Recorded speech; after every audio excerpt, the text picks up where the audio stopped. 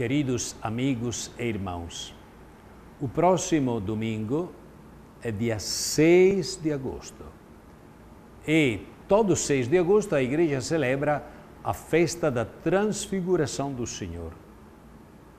Por isso, em lugar dos textos próprios dos outros domingos, a igreja propõe o texto da transfiguração do Senhor. E nas nossas celebrações dominicais iremos ouvir a passagem de Mateus, capítulo 17, versículo de 1 a 9. Seis dias depois, Jesus levou consigo Pedro, Tiago e João, seu irmão, e os fez subir a um lugar retirado, numa alta montanha, e foi transfigurado diante deles. Seu rosto brilhou como o sol, e suas roupas ficaram brancas como a luz. Nisto apareceram-lhes Moisés e Elias conversando com Jesus. Pedro então tomou a palavra e lhe disse: Senhor, é bom ficarmos aqui. Se queres, vou fazer aqui três tendas: uma para ti, uma para Moisés e outra para Elias.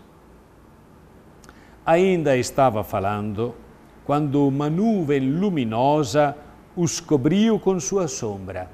E da nuvem uma voz dizia: Este é o meu filho amado, nele está meu pleno agrado, escutai-o.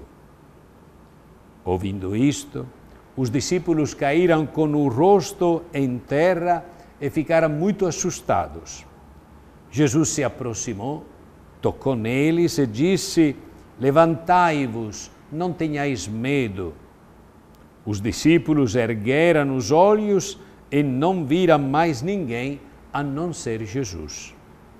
Ao descerem da montanha, Jesus recomendou-lhes: Não faleis a ninguém desta visão, até que o Filho do Homem tenha ressuscitado dos mortos.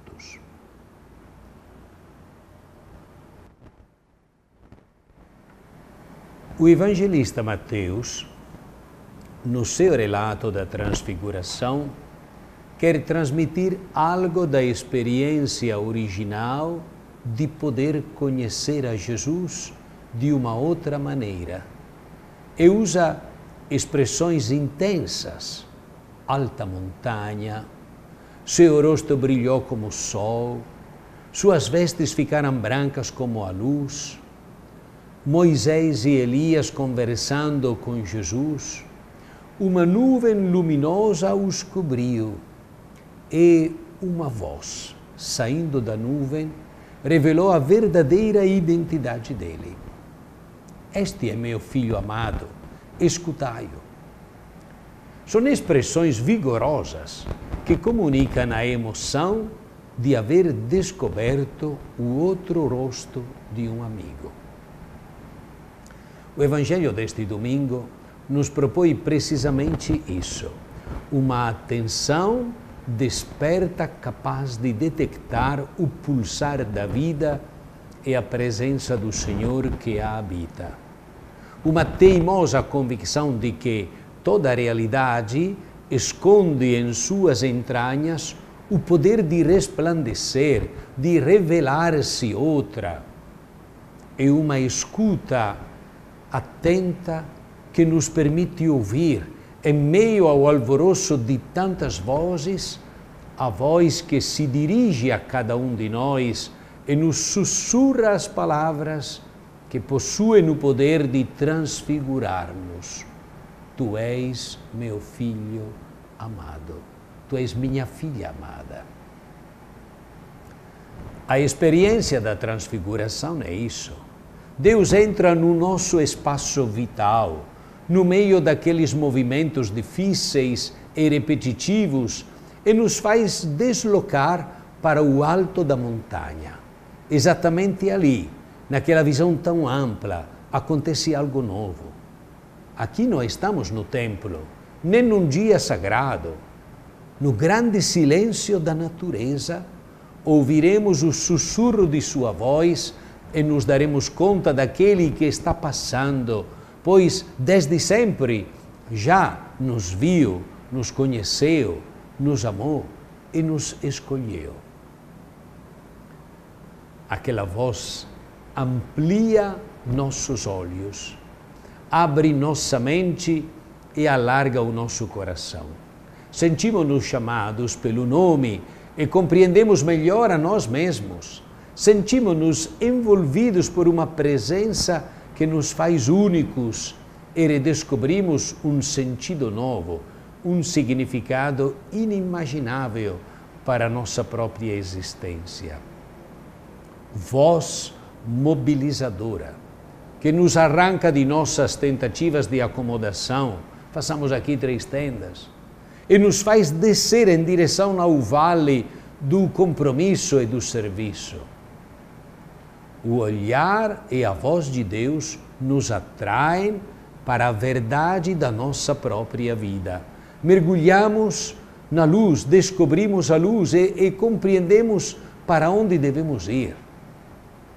Finalmente, não nos sentiremos mais sozinhos. Precisamos afinar nossos ouvidos e deixar-nos impactar pela voz única e original que vem de Deus. Voz que toca e desperta forças desconhecidas do nosso interior. Voz que ativa nossa identidade. Voz que nos faz voltar ao nosso ser essencial. Voz que reconstrói nossa dignidade e nos ajuda a conectar com o nosso ser mais profundo.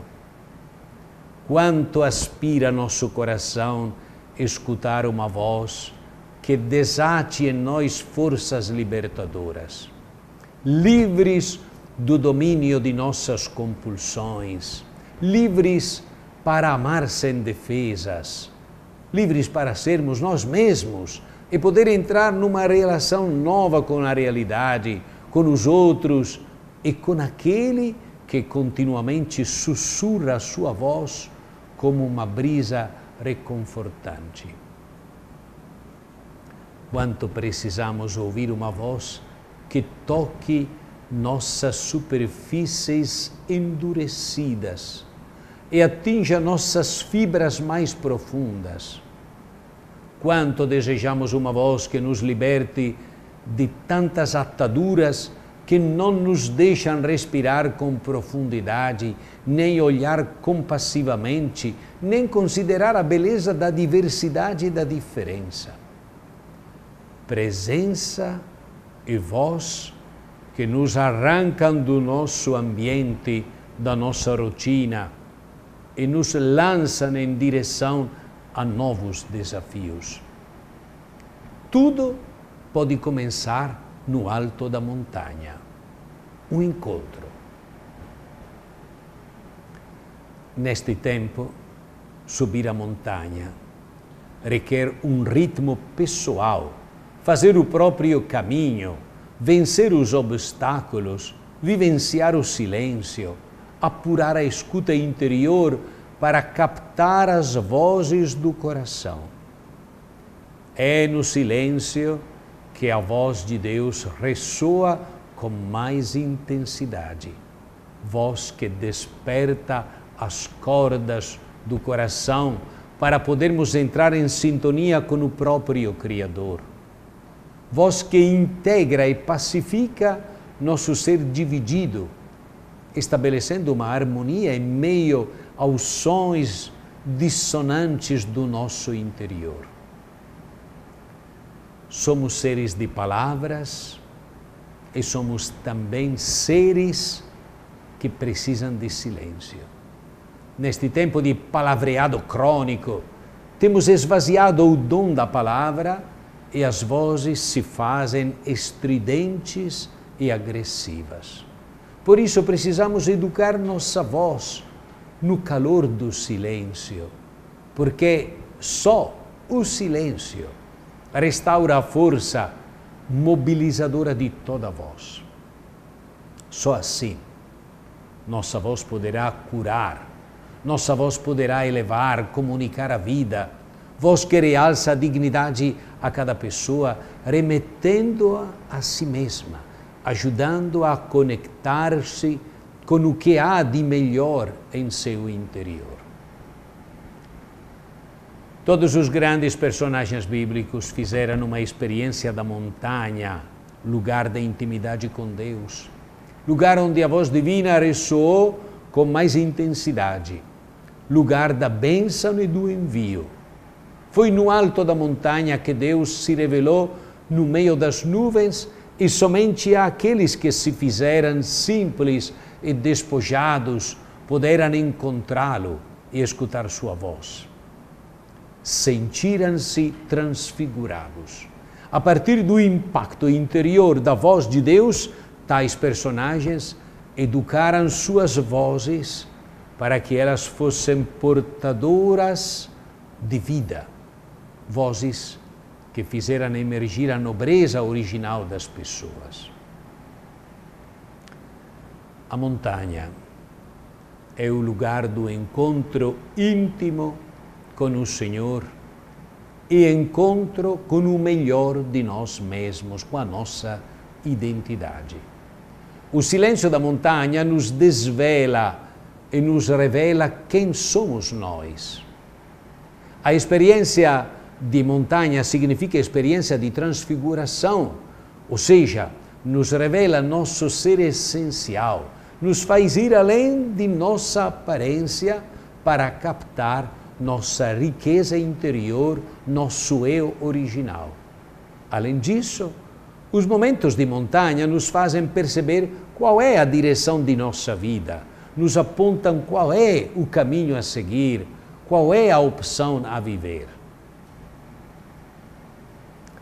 Caminhando por trilhas desconhecidas, poderemos atingir experiências imprevistas e surpreendentes, ou reconhecer vozes novas que nos incitam a peregrinar para as regiões ainda desconhecidas do nosso próprio interior.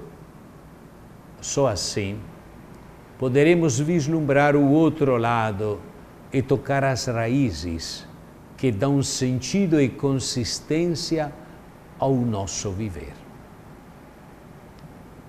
O oh Pai, tu nos transfiguras quando, em lugar de pensar e escutar em nós mesmos, escutamos o teu Filho e pensamos nele.